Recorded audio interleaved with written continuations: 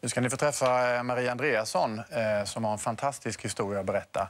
Höggravid, fick influensa, åkte till doktorn och sen började en resa som eh, man inte tror finns egentligen. God morgon och varmt välkommen Marie. Tack. Det som hände kort och gott var att du var allvarligt sjuk. Mm. Du åkte och hade influensa. Och så hade det satt sig på hjärtat om jag förstår saken rätt. Ja, i början så trodde vi att det bara var en vanlig förkylning. Eh, och sen så eh, åkte jag till vårdcentralen där jag bor då. Och där ringde läkaren till ambulans med en gång. Så, som körde mig till Näl. Och i ambulansfärden på väg in så blev jag så dålig så att jag ja, blev medvetslös under den tiden. Och den resan tog 40 minuter så det gick väldigt fort. Och när vi kom in så visste de inte vad som var fel. Nej. Bara att något var väldigt allvarligt. Mm. Och vad hände sen? Ja, de uh, gjorde ju ultraljud då uh, och såg att bebisens hjärtljud var nedsatta. Uh, men de kunde inte ta ut honom med kejsarsnitt för att jag var för svag för att sövas. Mm. Men så att barnet gick tyvärr inte att rädda helt enkelt? Nej, det gjorde inte. Och du ligger nedsövd i tror jag tre veckor eller något mm, sånt där? det det. Vet du om innan du sövs ner att barnet inte gick att rädda? Ja, jag fick veta det, men uh, jag kommer inte ihåg det när uh, jag vaknade igen. Mm. Utan jag fick det berättat för mig, allt som hade hänt, mm. på nytt. Och när du vaknar så får du beskedet att ditt hjärta inte håller längre helt enkelt? Ja, jag, de hade opererat in en hjärtpump under tiden jag sov, en uh, bivad. Um, och jag hade 15 procent eh, funktion kvar på mitt egna hjärta. Så det, eh, så det var ganska tidigt prat på transplantation egentligen. Men hur gammal är du? Jag är 22 nu. 22 och mm. hjärtat var i princip slut. Ja. Men du, orkade du sörja då vid den tiden? När du alltså... Nej, det blev inte tid till det. Eh, jag låg på intensiven i ganska länge. Eh, och sen så när jag väl fick komma hem då, så, då gick jag ju med den här hjärtpumpen och då, mm. då hade man ju fullt upp med att överleva. Ska jag få se bilder? Du har, tagit, vi har fått dina bilder här. Hur du såg ut när du, när du gick omkring med den här hjärtpumpen som du kallar. Eh, eller var inte den bilden, men vi, den, där är den ja. Mm. Och den var du tvungen att ha med dig hela tiden för ja. att leva helt enkelt. Ja. Och hur gick det? Och hur lång var den tiden?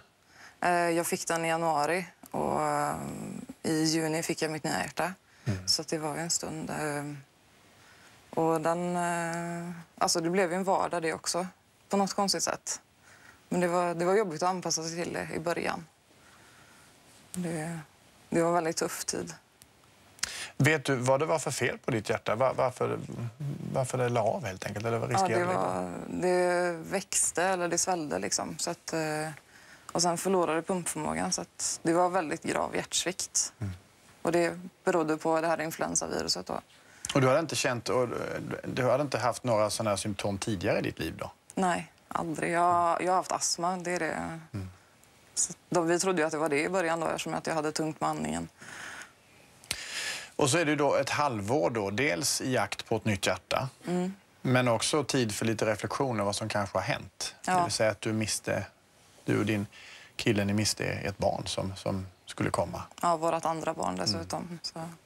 Så. det har varit jobbigt. Det har varit mycket att hantera efter transplantationen har det varit. För att man hade ju liksom inte tid eh, då.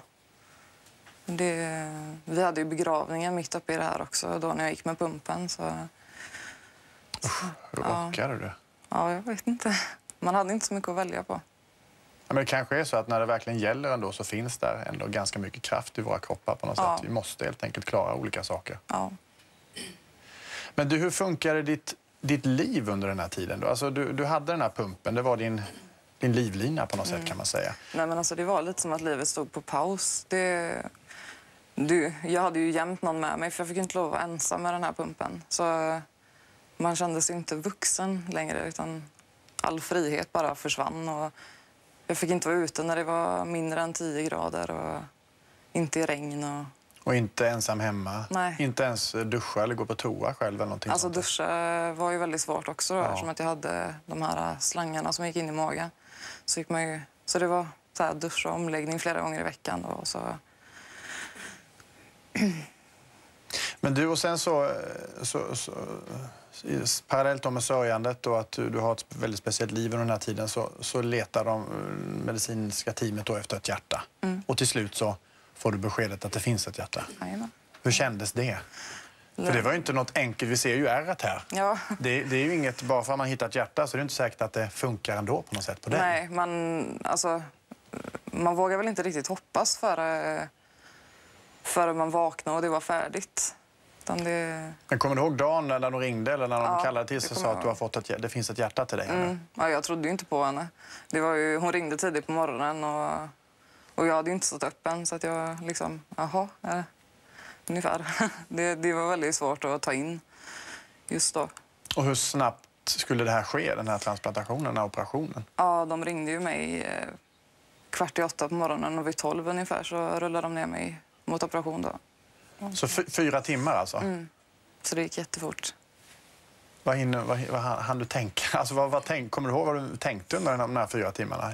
Jag tänkte mest att eh, jag vill vakna igen och helst utan den här pumpen. Så, Ja, för då var det ju dags att, eh, att säga hej då till ja, familjen på något sätt och hoppas vi ses snart igen. Liksom. Mm. ja, det, det var jobbigt. Det var det. Men eh, det var ändå väldigt fullt upp hela den dagen. Liksom, så att jag, ja, jag hann väl inte att tänka allt för mycket i alla fall, så det är skönt. Hur gammal är ditt barn? Eh, Min första son Ja. han dog också. Men du, då är det många som ställer sig frågan, tror jag, när man får ett hjärta och man funderar på, kommer hjärtat från en man eller från en kvinna? Jag har ingen aning faktiskt. Jag, jag har inte känt något behov av att veta det heller. Utan det, det känns bra. Och det,